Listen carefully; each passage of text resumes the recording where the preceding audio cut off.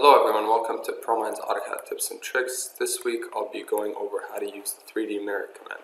There's a couple of options that I'll be showing you. One of them is how to reflect an image on, on a certain plane and the other is how to do it on three points.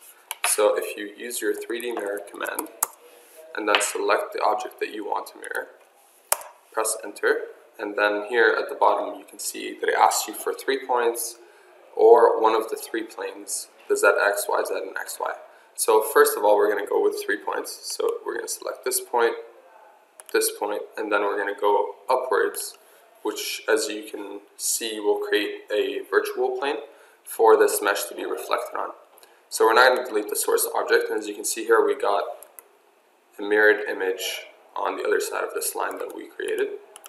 Now, if we delete it and try again in a different way, so go for 3D mirror again, select your object, press enter, and if you see here, we're going to select the ZX plane. So the ZX plane would be here in the red line, and then if you extrude that red line. Now it's going to ask us for a point where we want that plane to exist.